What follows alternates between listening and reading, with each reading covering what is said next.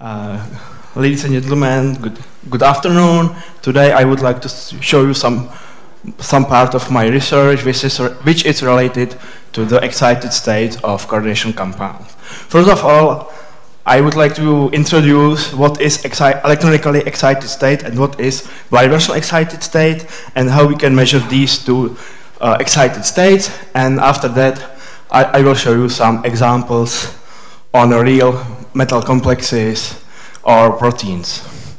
So, excited states, electronically excited state we can describe by Jablonski diagram. So if we have our hypothetical mo molecule in a ground state, in single state, then we excite by UV radiation, then is uh, which is following by vibrational relaxation. That's the main point why we are studying also vibrational excited states. And then after that, if we reach uh, single excited states, uh, the lowest vibrational level, then it's two possibilities. You can go by fluorescence to the ground state, or by intersystem crossing to the excited state. And then, of course, there is other vibrational relaxation, and then the, from the lowest vibrational level, you can go by phosphorescence to the ground state, or just not emitted way, which is just decay, or you can go to the photoproduct. Uh, vibrational excited state is connected, as I said, to photoexcitation and photosimulation processes, and we can learn from these uh, from these uh, excited states about anharmonicity of the band and coupling between bands. And of course, what is really important for catalytic properties is uh, solvation dynamics between solute and solvent. And uh, there is a few methodologies how we can investigate these excited states.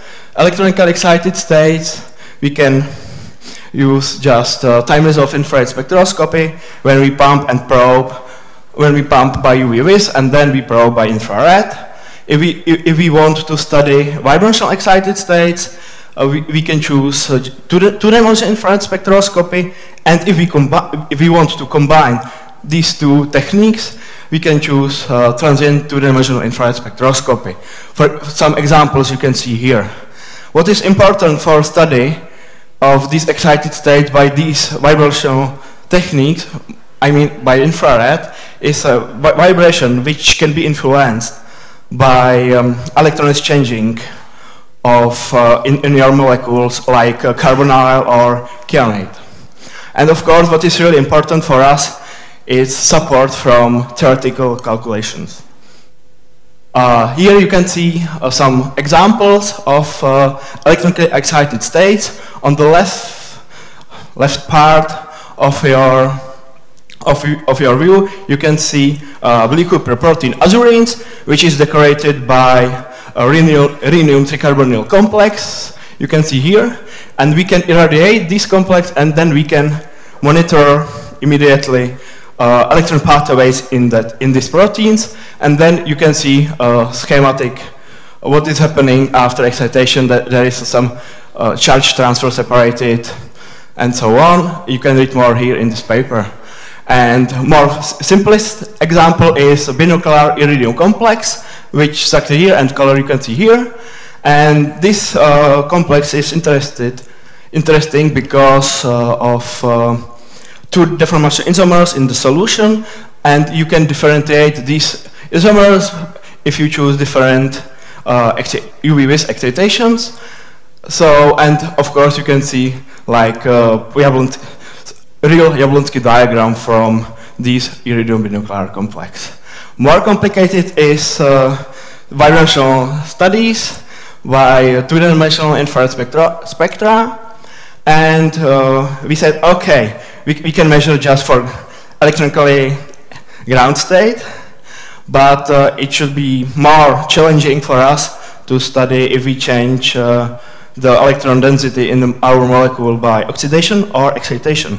So we can compare it, and for these studies we choose these two ruthenium diphotosensitizers, and we can compare, if we compare vibrational energy relaxation times uh, after oxidation or excitation with the ground state, it's really, really accelerate really fast acceleration that from you are going from 50 picosecond to, uh, to uh, about 3 picosecond time scale. Or if I, as I said, on the second, maybe third slide, uh, we can study uh, simulation dynamics. And I will show you he here on this, on this slide this uh, rhenium tricarbonyl complex. We, we, can, we can study by transient 2D IR and in different solvent, and you can see changes of the shapes of the bands, which is related to um, vibrational cooling and exchange of vibrational energy between solute and solvent. And now I would like to take to all my collaborators, to my supervisors, for financial support and finally for your attention. Thank you. Thank you. So it's time for questions. Okay, so I start with one question about uh, your experiment from the point of view, what's the duration of the pulses for pump and probe? The pulses are uh, around 50 femtoseconds, 50 seconds short. Mm -hmm. So it's we, we can we can start measuring from hundreds of femtoseconds to microseconds yeah. if you want. It depends on sequences between pulses.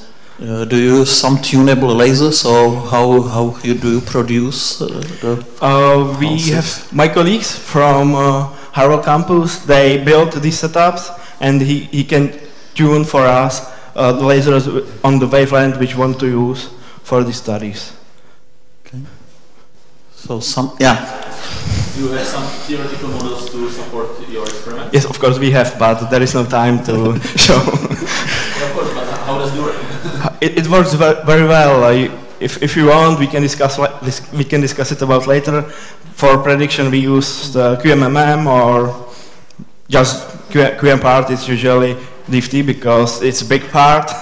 So it, it works very well. And uh, if you are asking about theoretical calculations, we can also uh, predict the coupling between vibration. You can calculate these couplings and the harmonicity of, of the bands by VPT2 theory, if you want. I guess you, you can discuss later a little bit more uh, on photodynamics and these uh, photo processes in uh, electrons and vibrations. Okay? Uh, so thank you once more and we continue